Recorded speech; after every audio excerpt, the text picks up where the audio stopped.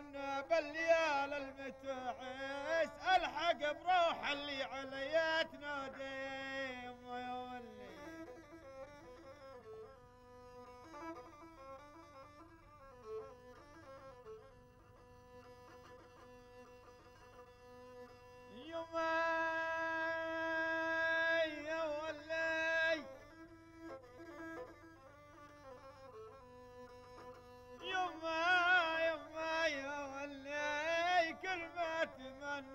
اتمنى بالليالي المتعس.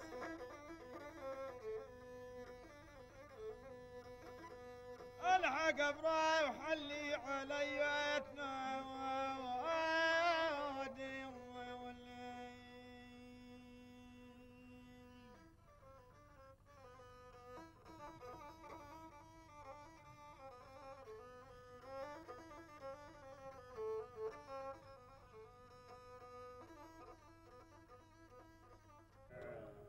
أنا قلبي هوجس المتعب ما يدور عليها لأجل الخير. إيش رأيك يظل مع الحلال وأنا ألحقه من بعيد لبعيد وأشوف إيش يساوي؟ زين لكن حرصك يشوفك. وأنت حرصك تعلم عني. يا عيب العيب يا سويلم. إحنا أخوان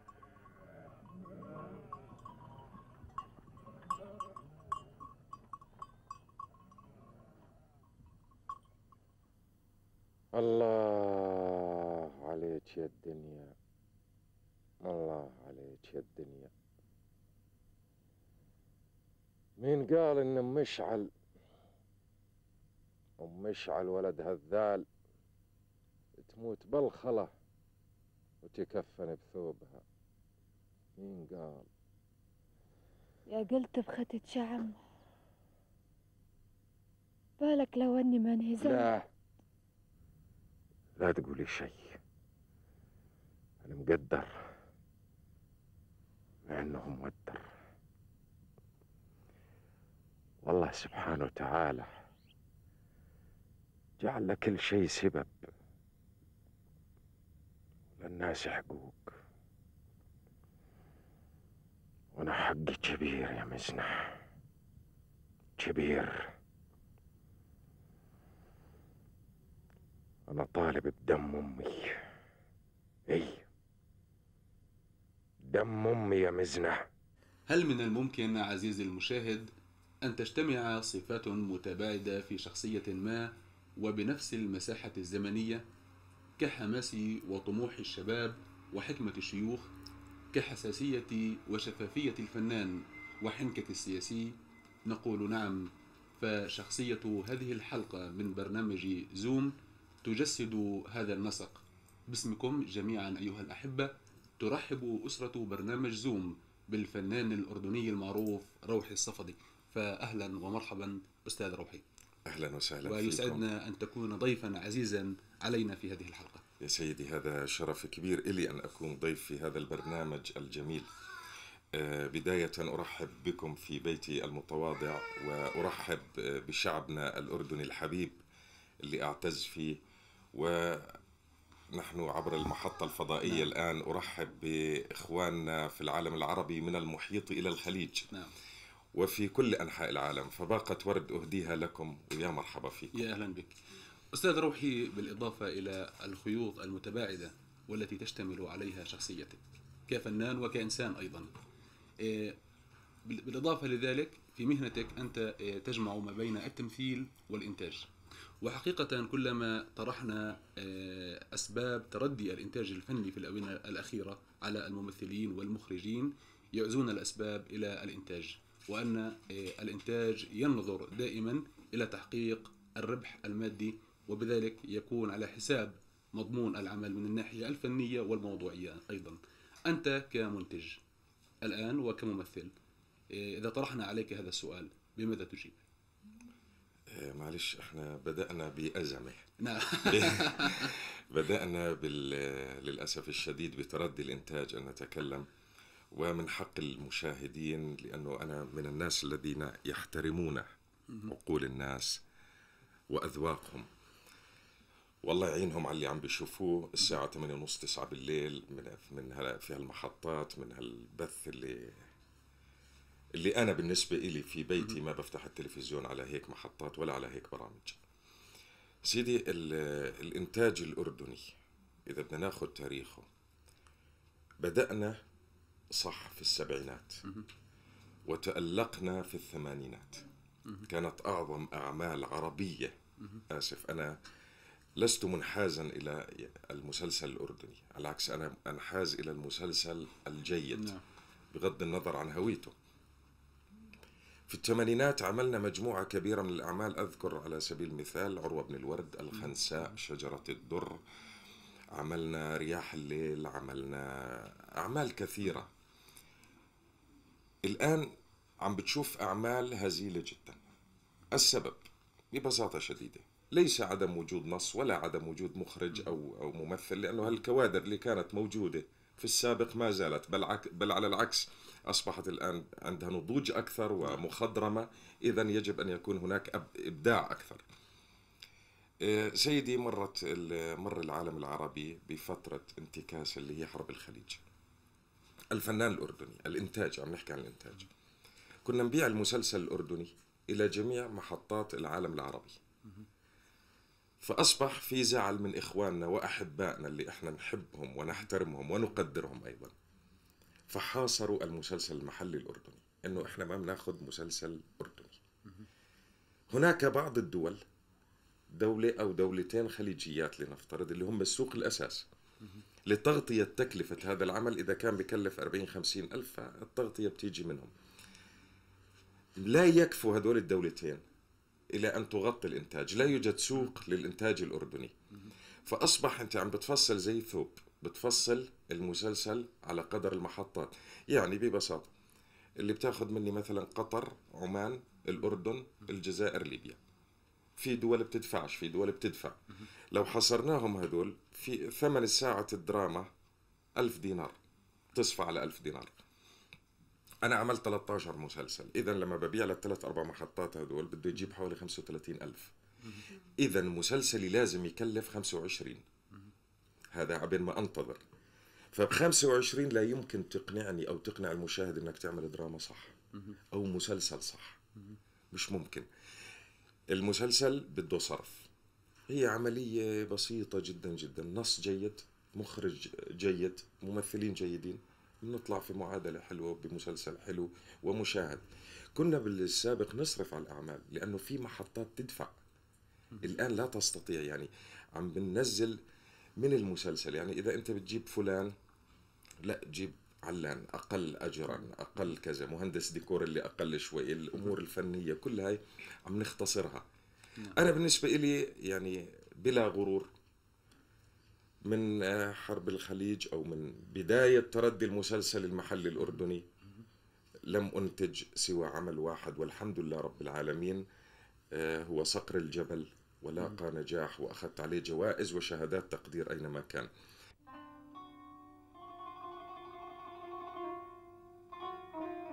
يالله يلي عالما بالخفيات. يا رب يا معبود ما لك مثيلي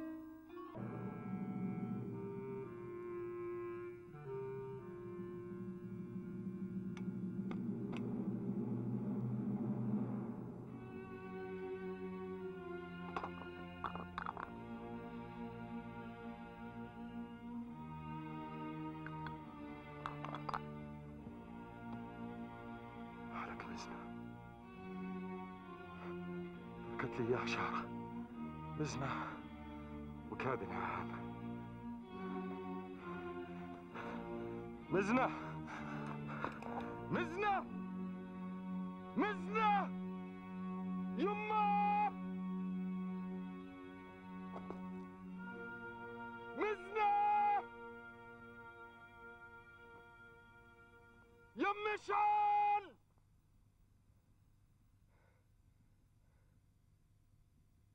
إيش بلاي أنا بيه بال لو إنها نهال كان ما تركن لي الشارع. يا رب وين راحن؟ وين راحن؟ يمه وش أسوي الحين؟ وش أسوي الحين؟ مالي غير أمشي مع الدرب. اي الدرب اللي تركتهم بيه. إي. يمه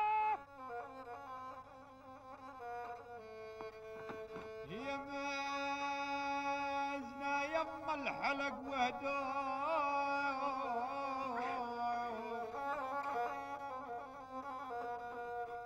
وحاش الخلا ترعب افكاره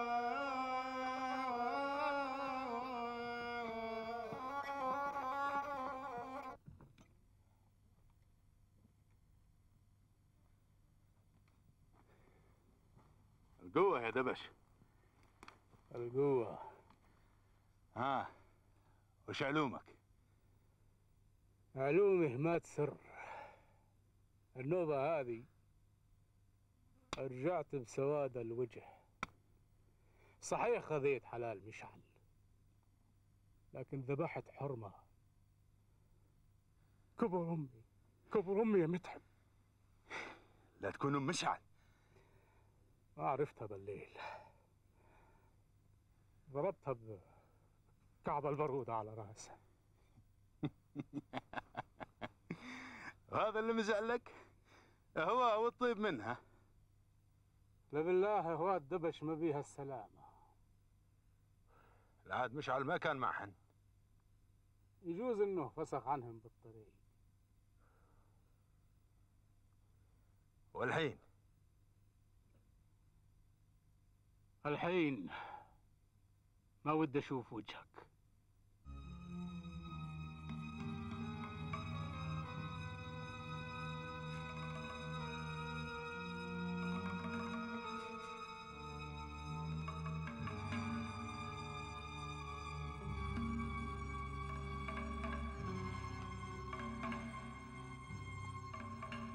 انت وياه.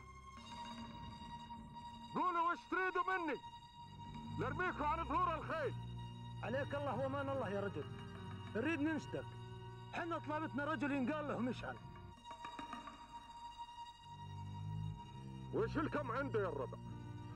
بالأول أنت تعرفه؟ سمعت عنه. وش اللي سمعته؟ سمعت إن حزنه بالقلب مكتوم. واللي بينه وبين اللي خالقه معلوم. وحين الخلايق تفتري والبري يصير مظلوم مشعل ما يفتري وما يكذب وما يسرق إن الليالي المعتمات نجوم الآن أصبح في إخواننا في دول الخليج العربي هناك بدايات أنهم يأخذوا المسلسل الأردني لأنه لا يمكن أن تفصلنا عن بعض كعرب. يعني كأنه كأنه إجابتك أستاذ روحي تحمل الدعوة إلى عدم الخلط أو إلى إبقاء جسور التواصل الفنية والثقافية موجودة ما بين الشعوب العربية والدول العربية على الرغم من اختلاف المواقف السياسية. هذه مشكلتهم اختلفوا سياسيا إخواننا إنما هي ما في نقاش من المحيط إلى الخليج. نحن عرب. نعم. صدقني. وتواصلنا مع بعض يجب يجب أن يستمر. يكون ما يؤلم العرب يؤلمني أنا كفنان أو أكيد. كإنسان عربي. وما يفرح العرب يفرحني. صدقني أي مشكلة عند إخواننا في ليبيا في السعودية في العراق في سوريا في اليمن في أي بلد عربي تؤلمني. وأي فرحة في الإمارات في تونس في المغرب تفرحني. نعم. لأنه أنا عربي وهدول أهلي. ولا يمكن أن تفصل هذا الجسد بغض النظر. يعني وأنا ضد أن يكون الفنان بوق. لنظام أو حزب أو أو لسنا أبواق. نحن فنانون. نحن نعتبر حالنا من في العالم العربي صفوة. نعم. يعني لا أدري إنما ننتظر إن شاء الله ال- أن اخواننا الساسه العرب أن يلتقوا وأن يتحاوروا وأن تزول ففي كل مشاكلنا. في, وحدتهم طبعا انعكاس على آه، آه، آه، النهضة ابداعاتنا العربيه على نهض العربية. نعم سيدي على الثقافة على النهضة على كل شيء. آه، أستاذ روحي طبعا لكل مهنة أخلاقيات نعم ستي ومهنة الفنان أيضا لها أخلاقيات ومثل ملتصقة بها. فترى ما هي هذه الأخلاقيات التي يجب أن ت- يتميز بها الفنان؟ كل مهنة فيها أخلاقيات زي ما تفضلتي إنما ال- الفنان أنا أعتبره سلوك. نعم. الفنان سلوك لأنه الضوء مسلط عليه. أنت محاسب على كل حركة بتعملها محاسب على لباسك على طعامك على حركتك على كذا. هذا إذا بنيجي من الأمور الشخصية. آه، أنا لا أقتنع بأي فنان لا يوجد عنده سلوك. مهما كان عظيما ونجما. أنا أحترم السلوك والأخلاقيات بكل شيء بالتصرف بالتعامل حتى آه، أحترم الفنان الذي يختار المسلسل الجيد أو العمل الفني الجيد لأن- لأنه يحترم الجمهور لا يطعن بذكاء الجمهور آه، آه، يدخل إلى كل بيت. فهذا إذا تكلمنا عن الأخلاقيات هي أختصرها بكلمة واحدة الفنان سلوك. نعم. نعم جميل.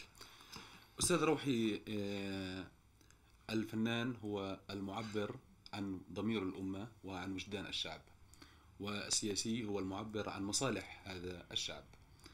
أين وجد الفنان روحي الصفدي نقطة الالتقاء ما بين السياسة والفن وهذا الذي دفعه طبعا إلى ترشيح نفسه للانتخابات البرلمانية الأردنية الأخيرة. ما هو الرابط بين السياسة والفن؟ نحن نعرف طبعا أن آه، السياسة هي فن الممكن وفن التعامل مع الواقع. ف آه، هل أيضا السياسة فن أو هل هل الفن في جانب سياسي أيضا؟ يا سيدي ال- ال- الفن والسياسة توأمان الفنان كالسياسي كلاهما يصنع المجد. آه، أنا رشحت نفسي للانتخابات البرلمانية لأن الفنان الحقيقي هو البرلمان الحقيقي للشعب. جميل. هو البرلمان الحقيقي للشعب. الفنان هو الأكثر التصاقا ومعرفة بهموم المواطنين. هذا واحد عندما رشحت نفسي. اثنين آه، رشحت نفسي لأني أريد أن يكون هناك تحت قبة البرلمان الأردني التي أعتز بهذه القبة وأفتخر بها. أن يكون هناك مكان للفن للأدب للشعر للثقافة. يجب أن يكون. أي دولة متحضرة يجب أن يكون هناك مقاعد تحت قبة البرلمان للفنانين. طبعا لنصرتي لقضايا الفنان والقضايا الشعبي رشحت نفسي البرلمان وممكن معلومة ما يعرفهاش الجمهور. آه، يمكن أنا عندي ثقافة سياسية أكثر منها فنية. ولو لم أكن فنانا لكنت دبلوماسيا أو سياسيا. آه، أنا أقرأ كتب سياسية كثيرا. آه، فعندما رشحت نفسي البرلمان ولم يحالفني الحظ يمكن الناس كثيرا سألتني لماذا روح الصفدي؟ ماذا تريد؟ ليش رشحت نفسك يا أخي؟ فأنت نجم من المحيط إلى الخليج. هل أنت بحاجة إلى مركز أو نجومية أو أو أو. فشرحت لهم الكلام اللي حكيته لحضرتك الآن وللست هون. آه، نتحدث قليلا عن عائلة الفنان روحي الصفدي. أنا جاهز ستي. آه، كم عدد أطفالك طبعا؟ آه، أنا متزوج وعندي طفلة نعم. وطفل. الطفلة اسمها حلا عمرها خمس سنوات ونصف وطفل تقريبا سنتين اسمه الفيصل. الله يخليهم الله يخليكي ممكن نشوف آه، حلا أو فيصل؟ حلا. متخبية ورا الكاميرا. تعالي يا بابا. تعالي. مسي عليهم وعلى الجمهور آه، في جميع أنحاء العالم بابا. مرحبا حلا. أهلين. هلا بدنا ناخذ الكاميرا من بابا ونحكي مع حلا آه. بس أنت بدك تقولي أول إشي للمشاهدين. قولي لهم مرحبا. مرحبا. طيب احكي لي هلا اسمك انت حلا روحي الصفدي طيب أي صف حلا KG two C. والله شطورة. انت بالمدرسة قديش شاطرة؟ كتير. كثير طيب آه، حلا انت لما بدك تدرسي بتسألي البابا بتقولي له يدرسك أحيانا؟ لا. ليه؟ بسأل ماما. دايما بابا مشغول؟ طيب بتحبي تروحي انت وياه مشاوير؟ طيب وين رحتي انت يعني هلا انت معطلة بالمدرسة صح؟ إمتى خلصتي امتحاناتك؟ يوم الثلاثاء يوم الثلاثاء طيب إيش تعملي بالمدرسة حلا بدرس. وبلعب وبغني وبعمل حفلات ومس... وبنلعب رياضة. طيب شو بتعملوا بالحفلات؟ وهيك بنغني ونرقص إيش ناكل. بتغنوا إيش انت إيش بتغني حلا يا أيها الملك طيب بدنا نغنيها للمشاهدين نغني لهم شوي منها. بس طلعي عليهم هيك عشان يشوفوكي يشوفوا حلا الحلوة. يلا غنيها. يا أيها الملك الأجل مكانة بين الملوك ويا أعز قبيلة يا ابن الهواشم من قريش أسلفوا جيلا بمدرجة الفخار فجيلا. يا أيها الملك الأجل مكانة بين الملوك ويا أعز قبيلا. يا ابن الهواشم من قريش أسلفوا جيلا بمدرجة الفخار فجيلا برافو لحلا برافو. حلا مين علمك هاي الأغنية؟ ماما. كمان ماما؟ معناته ماما بتغلبي معاكي أكثر من البابا. طيب آه انت. عندك اخو اسمه فيصل؟ فيصل ما بيروح على المدرسة طبعا. بتلعبي انت؟ بروح؟ على النادي هلا. طيب انت هلا بالصيف إيش بتعملي بالصيف؟ بالعطلة. بالعطلة بروح على نادي بدي أتعلم فيه سباحة بولينج. آه وبدي أروح على العقبة أسبح. يعني انت رحتي على النادي تتعلمي السباحه مشان تروحي على العقبة؟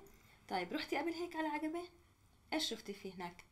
شفت سمك مم. وشفت آه، بنات وشفت أولاد صغار مم. وشفت آه، آه، بحر. بحر وشفت سمك وشفت في سفاين كبيرة سفن كبيرة كثير طيب انت بتحبي تسبحي؟ طيب يعني انت هلأ بدك تروحي على العقبة؟ عشان تسبحي. بتحبي العقبة انت؟ قديش بتحبي العقبة؟ كتير كثير To dive in Aqaba is to dive into the history, culture, and traditions of the Middle East. Aqaba invokes the exhilarating cries of the handful of Bedouin heroes who seized it from Turkish forces.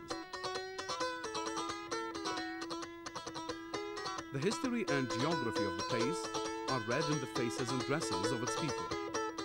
Biblical, Phoenician, Latin, Mediterranean, Bedouin, and Arab faces. Fairy tales that are drawn by a spectrum of naturally colored sand and held together by the expert patience of these young artisans.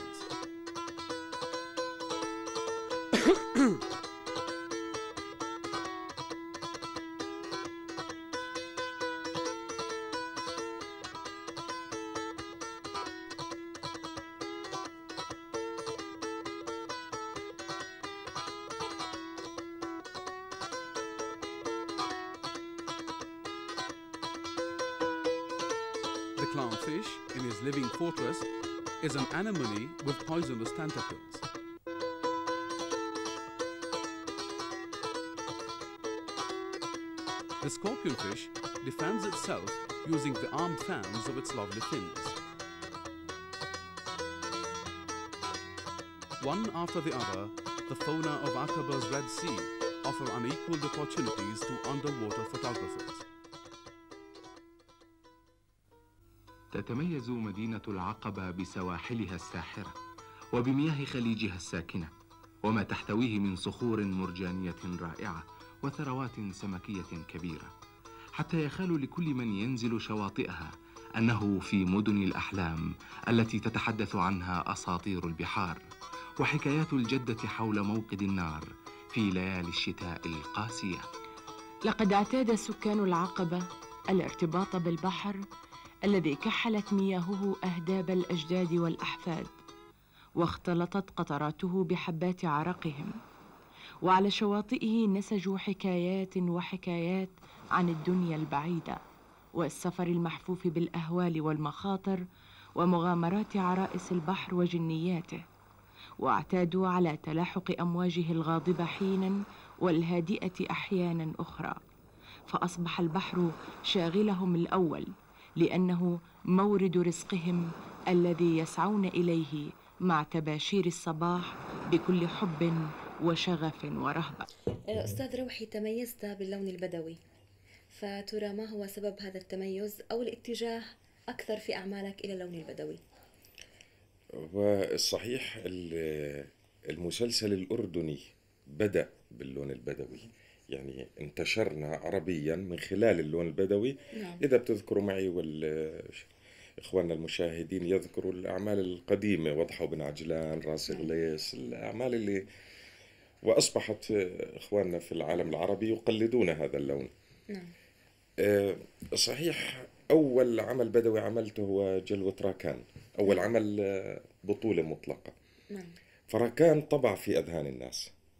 الناس أحبت راكان وأحبت هذه الشخصية الشاب الجديد اللي عامل هذا الدور. آه، يمكن تميزت مش بدي أحكي عن حالي لسبب لأني أنا عشت البيئة البدوية. نعم. يعني أنا كنت أتنقل مع والدي كان يعمل في الصحراء وفي أماكن كثيرة في الأردن وكان احتكاكي وأنا طفل مع الإخوان أهلنا البدو الرحل فتعلمت منهم اللهجة البدوية زائد اللحن. يعني البدوي مش لهجة بس هو لحن بدوي. يعني كيف تنطق البدوية؟ كيف إيقاع إيقاع. نعم سيدي أنت بتشوف مسلسلات مرات بتألم بتطلع هيك على التلفزيون بشوف واحد بيحكي بدوي لا وقت أمه مثلا. كيف حالك؟ هو يعتقد إنه يعني هاي هيك حكى بدوي. لا يا أخي البدوي مش معاق. نعم. البدوي بقول لك كيف حالك؟ شلونك؟ عساك بخير. هو إنس... آسف لمقاطعتك. فاللون البدوي حاولت أن أجتهد عليه. وبدأت عندي آه، يمكن الناس ما تعرفها. عقدة في عام 73 74 كنا في بداياتنا نحبو. فإجوا إخوان إلنا من لبنان وعملوا مسلسل بدوي. وكنت أنا أحد الممثلين الصغار. كانوا هم يعملوا بدوي متذكرين زمان. يلبسوا بوات أديداس ومش عارف إيش وبدوي. نعم. فإحنا متدربين والتلفزيون جديد وكل شيء جديد والفن عندنا جديد. فأذكر مرة المنتج آه، بحكي أنا جملة. قال الشبرية مش عارف شو الخنجر والغمد والغمد و... فقلت له هو طعين الشبرية؟ حكيتها بدوي أردني. قال بقول ستوب نعم. شو هذا اللي بتحكيه؟ قلت له بدوي جملة نسيت الجملة هديك عن الخنجر والغمد فمشان أنقذ الموقف حكيت له طعين الشبرية. نعم. لا بقول لي لا هذه اللهجة أنا ما بسمح لك تحكي فيها. نعم. هنا حقيقة تشكل عندي عقدة وإنه لا طب ما إحنا البداوي بالأردن. طب ما إحنا أولاد الصحراء وما زلنا. كيف أنت على أي أساس بت- بتعلمني لهجة بدوية؟ فبدأت أن أجتهد على هذا اللون قلت أي فرصة بتصح لي راح أنزل اللهجة البدوية الصح فيها. وطبعا ال- الفضل الأول والأخير كان لأخونا الدكتور أحمد عويد العبادي. بدأ وكتب مسلسل وضحى بن عجلان بدأت اللهجة البدوية تنتشر عربيا. المهم يا وجوه الخير أنا أعرف ابن عجلان زين. وشلون لقيته؟ ما هو بالرجولة اللي تحكوا عنها. لا بالله يا ضيفنا لا بالله ظلمك حظك أشهد بالله يا هالربع إنه رجل ضراب سيف طعام ضيف. عجيب. وش العجيب يا وجه الخير؟ أنا عندما كنت بضيافته سمعته يمدحك بنفس الأوصاف اللي مدحته بيها. إيه يمدحنا بالنهار ويغزينا بالليل. ذبح أولادنا ونهب مالنا وحلالنا من عجلان بلعون إنه سواها. لكن أنا سمعته يقول أنتم اللي بديتوا بالشر ما هو هو. أعوذ بالله من الشيطان الرجيم. بالله يا بن عجلان ما بديتك بشر ولا مسيتك بسوء. وتراب مشعل وسيف يشهدون على ما أقول. وإن كذبت يا الربع ما, ما تستحوا مني. الله وكيلك يا وجه الخير. بذاك الصباح اللي كنا ناويين نروح لعنده نضيفه ونشرح له حالنا ما حسينا ودرينا غير خير وصارت بين البيوت والناس نايمة. والمصيبة صارت مصيبتين. المحل من جهة والشباب اللي ذبحهم من جهة ثانية. إيه بسيطة يا بن عجلان بسيطة. بكرة تلاقي فليحان وفرسان الشيخ مفوز. والله يا وجوه الخير أنا سمعت منه كلام كثير. عاد هو صادق هو كاذب الله أعلم. ويش ويش قال كمان؟ ويش قال؟ قال آه، أول مرة أرسلت جماعة من رجالكم وطخوا رصاص على طرشه ورعيانه. أعوذ بالله من الشيطان الرجيم. بالله ما سويناها يا بن عجلة. والله ما سويناها ما سويناها. هذا حج اتخذها مشان غزينة. وبالمرة الثانية قتلت أخوه سلطان بأراضيكم. إيه وجابوا الأراضينا كان جاي يضيفك وابنك اللي قتله بالطريق. الله أكبر يا بن عجلان. الله أكبر. بالله العظيم يا رجل. ما عندنا علم من هالعلوم ولا درية إلا منك الآن. فوت جاي. فوت فوت قدامي. يا غضب طول بالك علي يا رجل. بس عاد قاعد قاعد انشب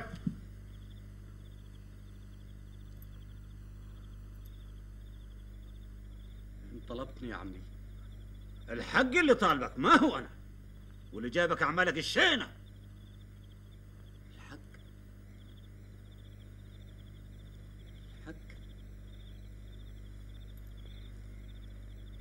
هذا هو غريمك يا ضيفنا. هو ما غيره. هو بذاته يا الربع. سود الله وجهك يا مكاري. تريد تفضحنا وتسيل سمعة العشيرة؟ خير يا عمي. ويش سويت أنا؟ شلون تنهى بنياق هذا الرجل هو بديارنا وديرتنا؟ شلون؟ أنا؟ أنا يا عمي؟ أنا ما أسويها ابدا. ابدا يا عمي. يا شيخ مفوز أنا بحضارك وبموقد نارك وبحلابات الحليب وبالمرة وما تجيب. إنك تأخذ لي حقي من هذا الرجل. ابشر يا رجل. اقعد مكانك وخلي البقى على قنا مكاري شلون صارت الحادثة؟ احكي الصحيح ولا قطعت رأسك ومحيت ساسك. حاضر يا عمي. إيه. أنا رايح أقول لك الصحيح. لكن لكن لكن لكن لكن ويش لا تغلبني. احكي مثل الناس أحسن لك. راح أقول لك الصحيح يا عمي. إيه. كاري. كاري. عد الصحيح قدام الشيخ مفوز. انياق عندك. كلام الناس ما صدق بيه لكن شوف عيوني ما كذبوا. يا عمي. أنا خذيت انياق هذا الرجل. لقيته بالصحراء. لحاله ما معه ناس. طمعت بيه وخذيتهم منه. سود الله وجهك. شلون سويتها يا مكاري؟ الشيطان يا عمي. الشيطان. لكن لي طلب واحد عندك يا عمي. ويش هو؟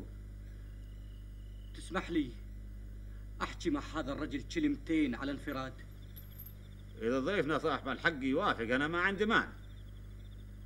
أنا ما عندي مانع.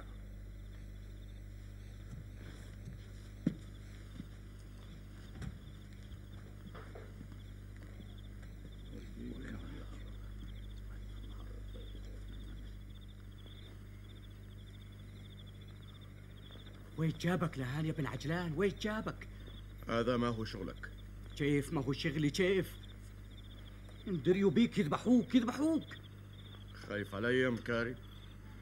كيف ما خاف عليك يا ابن عجلان انت اكرمتني وأنا ما انسى لك إياها طول عمري. حياك الله يا مكاري. عين خير. أبو فواز أبو فواز قل لي ويش قصدك؟ ريح بالي. بعدين أقول لك. المهم الآن أنت اللي سلبت النياق.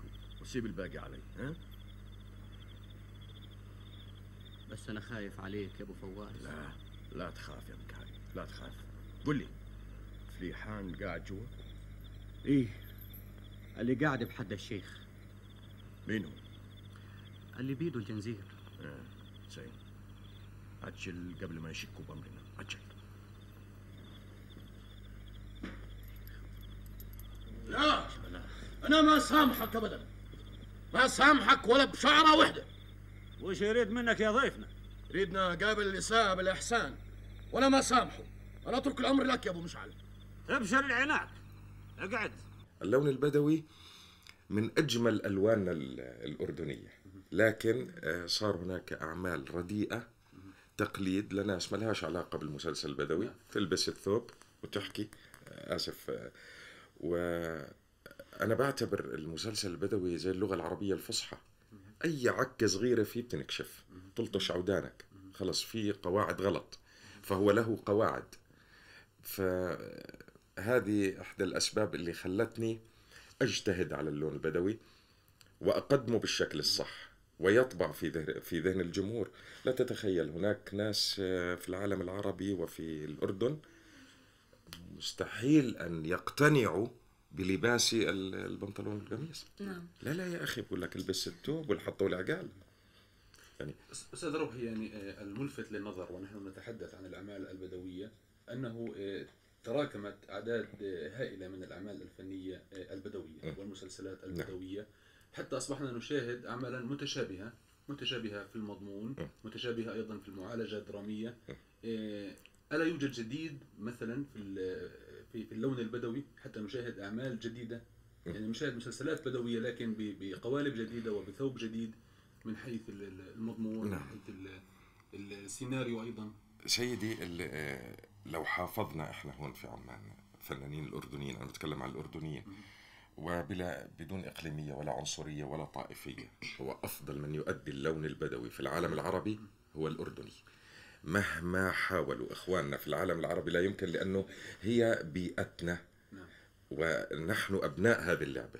يعني لما تلبس الحطة والعقال إحنا نعرف كيف شلون نلبسها وإيش نحكي والمواضيع وإلى آخره. وحصل إنه صارت مطلوبة انحبت هذه الأعمال. أنا جايك لأجاوب على سؤالك. فصار هناك كم كبير. المحطات العربية أعطيني بدوي. مشان الله أعطيني بشتري منك بدون رقابة. بدوي حلو. بدأنا عملنا مسلسلات كويسة بعدين بلشت المسلسلات تاخذ إخواننا في العالم العربي يقلدونا. زائد دخل منحى آخر الممثلين ما لهمش علاقة بالبدوي الإنتاج الرديء. فصار آه، إنه مين ما كان يعمل بدوي فأصبح الجمهور يبتعد شوي عن هذا اللون. إنما الجمهور بيعرف تماما من هو ممثل بدوي. آه، فطبعا إحنا مجموعة ابتعدنا قليلا حاولنا أن نعيد مجد المسلسل البدوي في أعمال متميزة. آه، أصبح في تكرار بالمواضيع؟ نعم. هبوط؟ نعم. أنا أؤيدك هبوط. آه، تكرار آه، عدم أشياء ما إلها أي علاقة بالبدوي. بنت عاملة مكياج وشعرها وبيرم ومش عارف إيش وعاملة بدوي. لهجة سيئة لباس سيء ناس ما لهاش علاقة في البيئة. فهون أصبحت الخطورة. إذا كيف ستعالج الأمر؟ ستعود إلى ال ال خلينا إذا جازت التسمية عمالقة اللون البدوي. نعم. معلش بلا تواضع وبلا غرور نحن عمالقة اللون البدوي. وعندما أرى مسلسل بدوي سخيف سواء إلنا إنتاج أردني. أو عربي أشعر بالمرارة. علينا أن لا نهين البدوي أن نحترم الثوب البدوي. تحت الحطة والعقال هناك عقول وهناك ناس فهمانة وهناك قيادات وهناك أشياء كثيرة. نحن في الأردن أتكلم وليس فقط العالم العربي ما زلنا هناك القضاء البدوي وهناك ناس لها وزنها. نعم. فإذا علينا أن نحترمهم. ف بالنسبة للكلام اللي السؤال اللي حضرتك طرحته أنه التكرار. الصحيح البدوي مرات بتقرأ قصص بتسمع بتجلس مع كتاب متميزين بالبداوة كذا يا أخي ما في عندكم إشي جديد؟ كله على العين وكله هذا حب وهذا ما حب وغزو وقتل ونهب وكذا. فمرة جالس أنا الأستاذ جبريل الشيخ قلت له نفسي أعمل لي مسلسل بدوي يا أخي فيش فيه فيش فيه قتل فيش فيه إشي. لنأخذ البدوي بصراعه مع الحياة مع. الطبيعة والمجتمع مع البدوي. مليء يعني. مليء. نعم. فجاء بفكرة مسلسل صقر الجبل. صراع مع البيئة مع الذئاب مع الأفاعي مع الحنشان مع زوجته بتولد وبتموت وهو والطفل لحالهم وإلى آخره.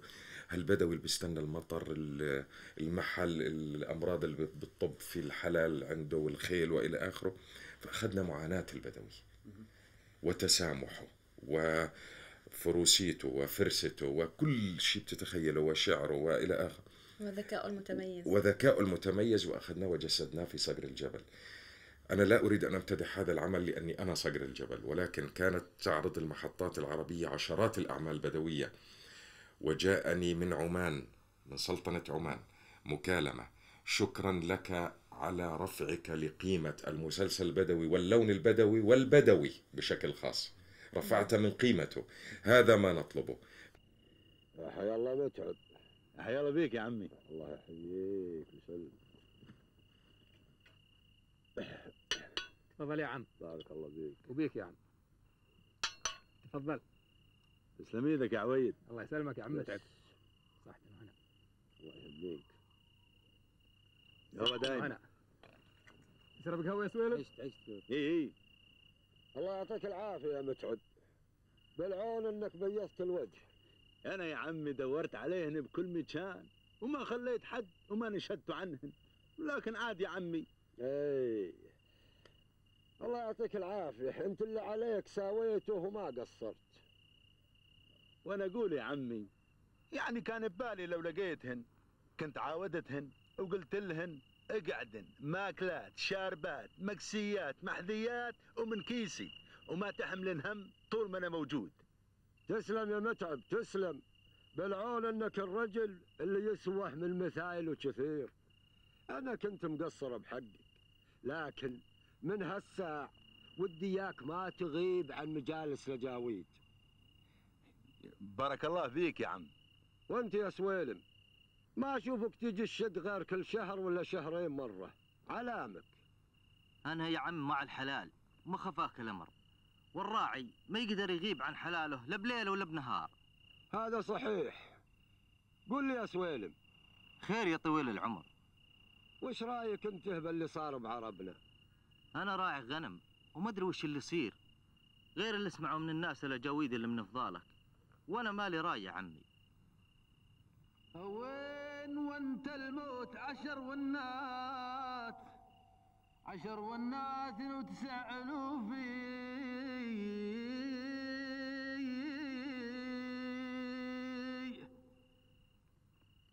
وكان كنت الخوف قبل الممات؟ والجرح بالقلب ضرب السيوف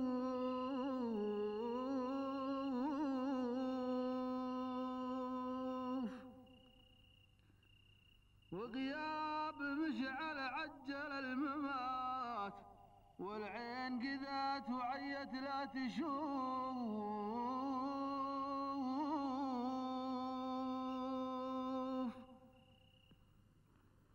وطبق رموش العين سبع طبقات وكل طبقة تغسل بدمع خاف.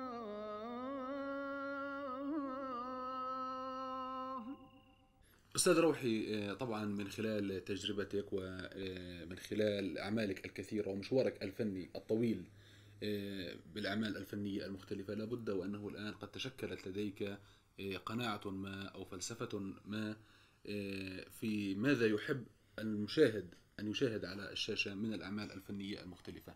هل هناك فلسفة فنية آه، مقتنع بها الفنان روحي الصفدي الآن ويحاول أن يجسدها من خلال الأعمال التي قدمها وسيقدمها في المستقبل؟ آه، أول شيء شكرا على سؤالك لأني أنا بحب أن يقال هناك فلسفة وليس هناك رسالة فنية. الرسالة يحملها ساعة البريد وليس الفنان. هذه وجهة نظري. آه، الفلسفة أو اللي أنا فلسفتي بالفن أن تقدم مشاكل الناس أن تجسد مشاكل الناس وهمومها آمالها وآلامها تترجمها على الشاشة من خلال الدراما وإلى آخره وتنقلها. هنا أصبح المشاهد يعني تستطيع أن تخطف المشاهد ويشاهد عملك وينتظر وإلى آخره. أن لا تبتعد عن هموم الناس. كلما ابتعدت عن هموم الناس كلما ابتعدوا عنك. يعني أنا اللي بالنسبة لي التمثيل مش فقط إني أعمل نجم و- وأشخص والكلمات إياها وإنه يعرفوني الناس وإلى آخره. لا لا. ولا إنه أنني أحمل رسالة وهاي لا. هو بحاول إني أجيب مشاكل هالناس باختلاطي طبعا في الكتاب وأجسدها. بحاول إني إذا عملت شخصية مثلا سائق شاحن إني أروح عند سواقين الشاحنات وأشوفهم حتى أشوف معاناتهم في بيوتهم كيف بيطلع من بيتهم نرفز كيف بفوت كيف إلى آخره. فأحاول أن أقترب كثيرا من الناس. ويمكن هذا سبب اللي خلى الناس يعني آسف آه، مش أحكي عن حالي تسأل عن روح الصفدي إذا غاب عن الشاشة. آه الآن في عندي عمل مثلا بديش أصرح عنه عمل مرهق. مشاكل الشباب العربي في أوروبا. أنتوا هالشباب الجزائري والتونسي والأردني والفلسطيني والسوري وإلى آخره ليش عايشين هناك؟ وعنا كل هال ونحن أغنياء كدول عربية. فراح أصور العمل كاملا وهو من تأليف الأستاذ إبراهيم العبسي اسمه القفز في المجهول في أوروبا ما بين ألمانيا وأثينا. شوف كم هو مكلف. وأكيد المحطات مش راح تغطي التكلفة. ولكن حابب أني أعمل هذه المشكلة. أعيش في غرفة أنا وواحد جزائري ويتكلم بلهجته والسوداني بلهجته وأنا بلهجتي واللبناني وإلى آخره. واللي بتزوج واحد عمرها 70 سنة و65 سنة من شان ياخذ إقامة. هذه ما هي موضوع موضوع يعني آه، موضوع معاش. معاش وشرائح موجودة في أوروبا. أنا شفت هاي الشباب أثناء إقامتي في اليونان. فحبيت هذه الكاركترات. فراح إن شاء الله أعمل هذه الشخصية. في أعمالك القادمة. في أعمالي القادمة حتى الناس فعلا تشوف حالها وتشوف أولادها وتشوف مشاكلها. فهي يعني فلسفتي دائما اقترب دائما آه، أحتك في المشاكل. يعني وين في مشكلة؟ إحنا مش حلالين مشاكل ولكن وين في قضايا؟ وين في هموم؟ جيبها. أستاذ روحي آه، شاهدنا لك وشاهد المشاهدين أيضا معنا. العديد من الأعمال ومنها المسلسلات البدوية. آه، لم يكن للفنان روحي الصفدي دور في الكوميديا. فترى ما هو السبب؟ لم تقترب إطلاقا من الكوميديا. الكوميديا نعم أنا لم أقترب منها. يمكن أؤمن بالتخصص شوي. آه، الكوميديا إلها ناسها حقيقة. يعني لما بتسألني عن الكوميديا هون عندنا في الأردن مثلا عندنا حوالي 70 80 كوميدي. إنما أنا بضحك لواحد أو اثنين يعني عندنا كوميديا بتحزن بتبكي. إحنا بدنا كوميديا بتضحك. الكوميديا هي كوميديا الموقف مش الكوميديا إنه أي إنسان يعمل ب... لباس مبهدل أو مه أهبل أو مجنون أو بالوقت أمه بيعمل هيك معناته صار كوميدي. نعم. لا أنت هيك بتحزني يا رجل أنت مش كوميدي. الكوميديا موقف. الكوميديا مدروسة وأخطر أنواع ال- ال- الفنون والدراما والكذا أنك تكتب للكوميديا. أنا لو سألتني عن الكوميديا حتى بالعالم العربي يمكن مصر مت- متفوقة في الكوميديا ولكن هناك كوميديين عرب أنا أحترمهم وأحبهم جدا اللي هم مثلا ياسر العظمة ياسر العظمة أنا بنظري أفضل كمشاهد أفضل كوميدي عربي. أجمل من ترى بالكوميديا ياسر العظمه لأنه في ناس بتعمل character واحد هو بيعمل لك روحي آه، تكلمت عن ممثلين. لو سألت الأستاذ روحي لمن يستمع؟ اغاني نعم. والله أنا أستمع آه، للقديم. وللجديد ومن مشجعي الدم الجديد أيضا. لكن من آه، هالدم الجديد بحب ماجدة الرومي فنانة كبيرة و وأمنياته والفنان قد تكون أمنيته وطموحاته من نوع خاص فما هي طموحات الفنان روحي الصفدي؟ يا سيدي أنا لا أحب أن أتمنى. أنا أكره كلمة أتمنى ولكن سأعود إلى أتمنى. هناك أيضا حلم أستاذ حسن. بالنسبة للعالم العربي أحلم كما يحلم كل مواطن عربي. من المحيط إلى الخليج أمنية كل مواطن عربي. زوال الأحقاد وزوال الحدود ما بيننا. فالرابط قوي الدين واللغة والقرآن و و وبكل شيء. آه، على المستوى الفني أطمح إلى أن أقدم كل ما هو نظيف كل ما هو جديد. آه، أن يبتعد مقص الرقابة عن الأعمال العربية ليس فقط الأردنية. لنكون لنؤدي رسالة جميلة لنؤدي آه، أعمال فنية تشارك ال- ال- ال- العالم العربي في همومه حتى السياسية وليس الاجتماعية. أن نكون مشاركين فعالين. هذه أمنيتي من ناحية ال- الأمور الفنية. أما حلمي فصدقني أنا عربي حتى العظم من المحيط إلى الخليج. ولا يعني حتى في زرت معظم العالم العربي ما عدا دولتين. إن شاء الله راح أزورهم اللي هي آه، الجزائر والسعودية. أتمنى زيارتهم. وأي فرصة بتصح لي راح أزورهم لأن هاي بلادي. يا جزاير شبهتك الحمام بياض ولماع منور بضياه ما نتمنى. سلاك نوارك رامية شعاع في لون السماء والما رنة. في لون التربة الحمراء طاح العلاع وفي دم عروقنا غنى والحرية نارك شاعلة في قلوبنا. ما تطفى يا بلادي شموعنا حتى نسمي الموت بنية. في جال زينك وصفاك دم ولادك في بعضاه يجري ويسيح وديان هايجة تدي عدى عديان.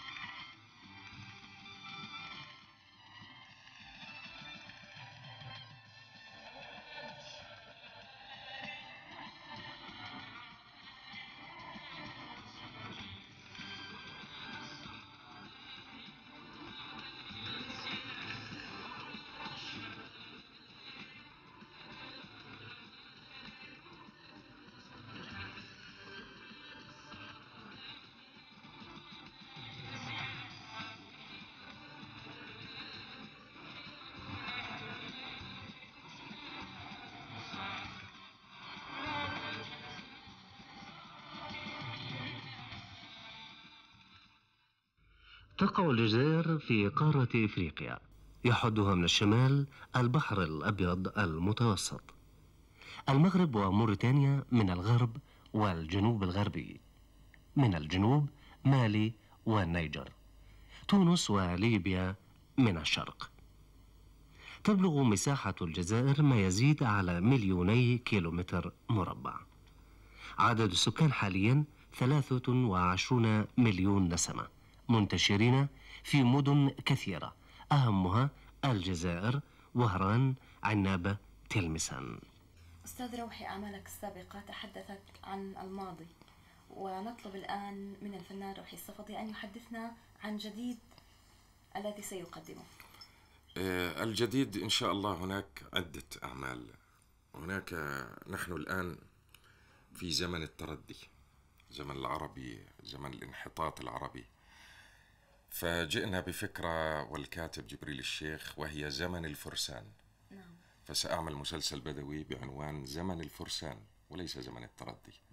سنبقى نراهن على أن هناك فرسان وهناك عروبة وهناك عرب بغض النظر عن أي شيء. هناك أيضا عمل آخر للأستاذ فراس المجالي لون جديد في البدوي. آه، عمل اسمه الصقر والرهة. آه، جديد هو حوار بالشعر. سيكون المسلسل تقريبا 90% شعر وهي مغامرة. ولكن آه، من خلال قراءتي للنص أحسست بأن هذا عمل إن شاء الله سينجح جماهيريا. وهناك أيضا عمل آخر آه، ممكن أن ننتجه مع شركة في دبي اسمه أولاد سالم.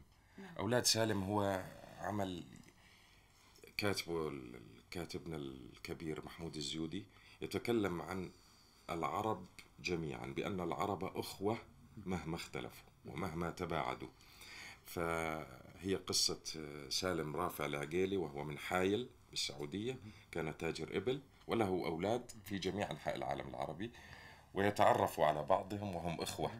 فنذهب من مصر إلى سوريا إلى فلسطين إلى السعودية إلى إلى وننهي العمل فمقولة العمل جميل ونحن بحاجة إليها الآن في هذا الزمن وفي هذه الأوضاع. ونتمنى طبعا للفنان روحي الصفدي التوفيق في أعماله القادمة والنجاح كما كان حال الأعمال السابقة. وكل الشكر لك على هذا اللقاء الجميل والممتع والشيق. يا سيدي شكرا لكم. شرفتونا أنتم إخواننا في الأردن وفي العالم العربي وفي جميع أنحاء العالم. شرفتوا بيتنا المتواضع. ونرجو أن لا نكون ضيوفا ثقيلي الظل على إخواننا. وإن شاء الله أن نوعدكم أنه نبقى كما عهدتمونا دائما. نحترمكم نحترم ذكائكم. نقدم لكم ما ترضوا عنه. واعذرونا على فترة الغياب. إنما الأيام جاي وبإذن الله سنلتقي.